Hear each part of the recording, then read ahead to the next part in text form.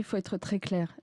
Aucun élève, aucune élève ne peut être exclu, et d'ailleurs n'a été exclu Non, de fait en raison, interdite à deux reprises d'entrée en dans le raison collège. de la longueur ou de la couleur de sa jupe. Voilà, que les choses soient très claires. Donc vous, vous désavouez les enseignants de Ça Charleville n'est pas ça.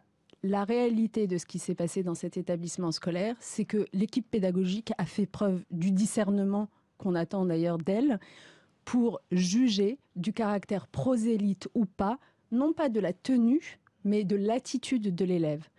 En l'occurrence, il a été jugé qu'il y avait du prosélytisme de la part de l'élève et ça n'est pas une exclusion qui a été prononcée, contrairement à ce que j'ai vu écrit ici ou là, mais un dialogue qui a été ouvert avec sa famille. Et je note en particulier que sa mère s'est exprimée pour demander à ce que les choses s'apaisent. Je crois que c'est important que ce dialogue se fasse avec les équipes, c'est ce qu'on attend d'elle. Donc pour résumer, l'équipe de Charleville-Mézières, l'équipe éducative a agi avec discernement selon vous? On attend en effet des équipes éducatives qu'elles agissent avec discernement. On connaît la loi de 2004, on sait ce qu'elle interdit exactement en termes de port ostentatoire de signes religieux. Il faut que les équipes puissent sur le terrain juger par elles-mêmes de l'attitude ou pas.